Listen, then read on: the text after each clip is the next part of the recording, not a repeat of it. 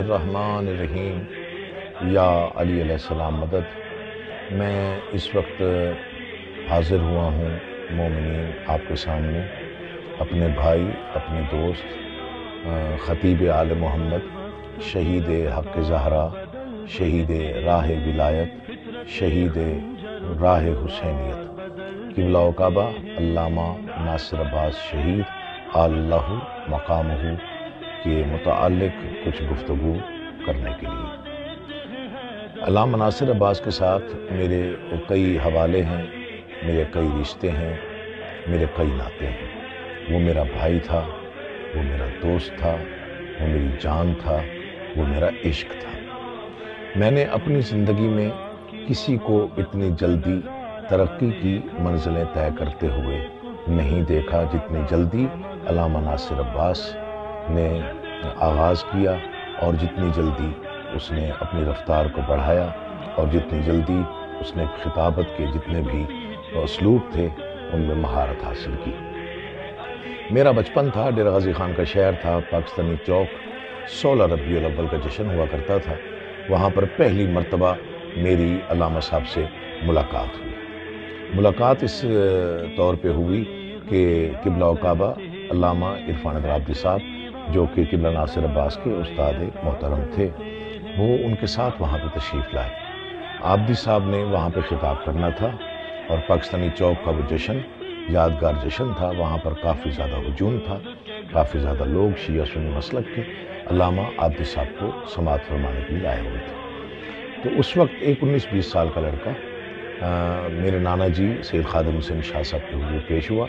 और उसने कहा किबला अगर मैं थोड़ी देर यहाँ पे तकरीर कर लूँ तो आपको कोई एतराज़ तो नहीं है। क्योंकि वहाँ पर वो बाने की हैसियत से थे। उन्होंने लगा बेटा, आप पढ़ लो। पहली मरतबा मैंने 19 साल के लड़के को खिताबत करते हुए देखा और मैंने उसकी खिताबत के रंग जब देखे तो मुझे अंदाज़ा हो गया और मुझे एक शेर बड़ा याद आया। मैं दोहरा देता हूँ कि मेरी मंजिल का अंदाज़ा लगाओ। मेरा पहला कदम है कहकशां पर। और उसने वो साबित करके दिखाया कि उसका पहला कदम ही कहकशां पर था और उसकी मंजिलें कहकशां से बहुत आगे थी। अरसा गुजर गया, मैं तालीम में मसरूफ़ हो गया, अलामा साहब अपनी खिताबत में, अपनी जाकरी में मसरूफ़ हो गए। लेकिन घर के साथ ताल्लुक़ था, मुलाकात गाहे बगाहे होती रहती थी, मगर ज़्यादा तवील मुलाकातें ना हो सकी। लेकिन जब मैं लाहौर में बीए कर रहा था तो बीए करने के बाद मैंने देखा कि जब मैं वापस लाहौर आया, उन्नीस सौ छियानवे मेरे वाले साहब की शहादत हुई। तो उसके बाद लोगों ने जब मुझे जाकरी में आने की दावत दी, तब मैं जब लाहौर एंटर हुआ तो मेरी आँखें खुली रह गईं और रश्क से भी और गरूर से भी, क्योंकि मेरे भाई अलामा नासिर अब्बास के इश्तहारात से पूरा लाहौर भरा हुआ था। कोई गली ऐसी नहीं थी, कोई बारगाह ऐसी नहीं थी।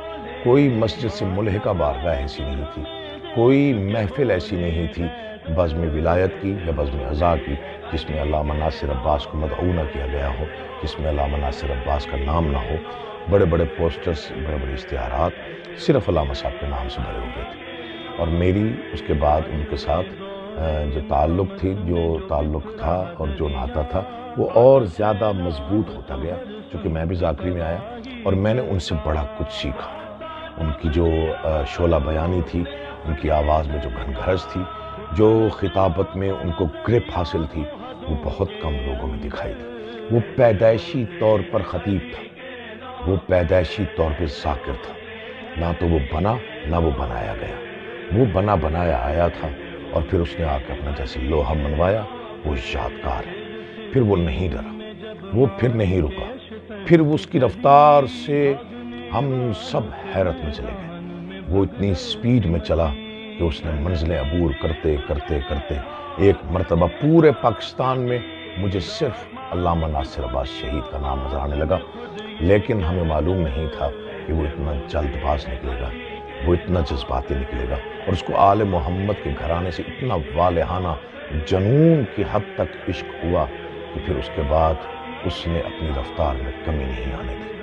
फिर दो ही बड़े नाम थे, एक अलामा इरफान आबदी साहब और एक शहीद मोहसिन नकवी। फिर वो तीसरा नाम जो है, अलामा नासिर अब्बास का, उनके दरमियान आकर शामिल हुआ। ये पहला शागिर्द था जो इतनी जल्दी अपने इस के साथ आके उस फहरिस्त में शामिल हुआ।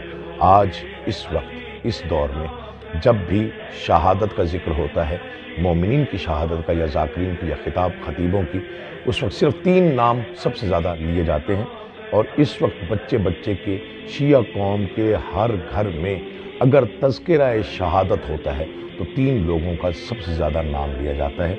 इरफान राबदी साहब, मेरे वालद गिरामी, किबला काबा हमाद बैत, शहीद मोहसिन नकवी और शहीद नासिर अब्बास। और ये नाम हमेशा रहेंगे, ज़िंदा रहेंगे, क्योंकि इनकी मौत का मकसद बहुत बड़ा था। मैं अक्सर कहा करता हूँ कि शहीद और भी हैं, हमारे मुल्क में जितने भी लोग शहीद हुए हैं, लेकिन सबसे ज़्यादा इनका नाम इसलिए लिया जाता है कि बाकी लोगों की तरफ़ मौत खुद आई है।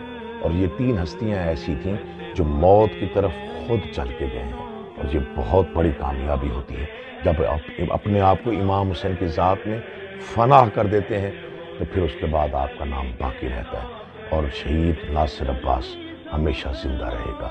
हमारे दिलों में, घरों में, हमारी धड़कनों में, खिताबत के असलूब में, मंबर पे, लहजे में, अल्फाज में और उसकी फसाहत व बलागत हमेशा याद की है वसलाम या मदद अकील मुस्लिम